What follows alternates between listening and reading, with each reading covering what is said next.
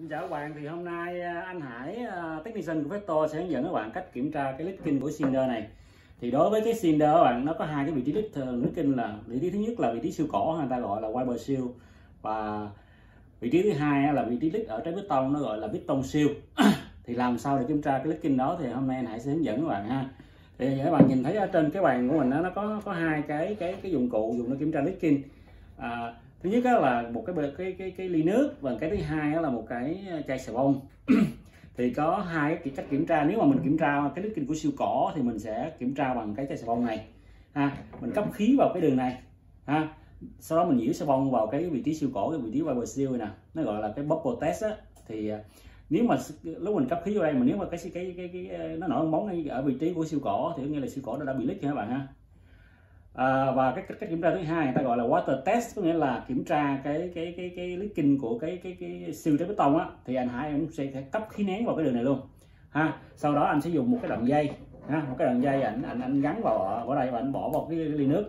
Nếu hai vị trí này mà nó nó nước, nước nó nhiễu ra ngoài á bạn ha nước, nước nó chảy ra ngoài á à, thì nó sẽ nổi bóng ở ở hai cái buồng ở trên và buồng, buồng dưới nó thông nhau á.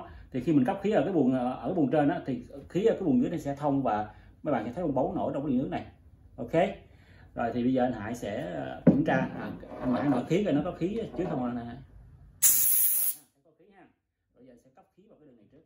Ok. Và mở khí ra. Okay. cái khí mình đang kiểm tra là ở áp suất 63 các bạn ha. Áp suất 63 thì là áp suất nó rất là thường thấy ở cái nhà máy người ta sử dụng ha.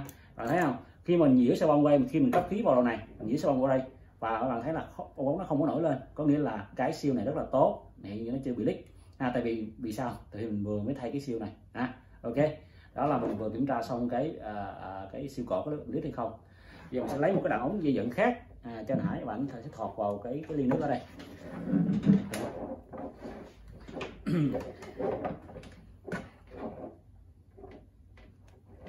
Ok tôi mở khí lại nha. Tôi mở lại ok bạn thấy có khí nha. Giờ đang có khí nè.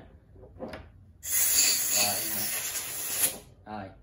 Anh sẽ nhúng cái đầu của cái cái cái cái cái phần bên dưới vào cái ly nước này. Nếu mà hai nguồn khí mở thông nhau các bạn, thì ở đây bạn sẽ thấy con bóng nổi lên, ha.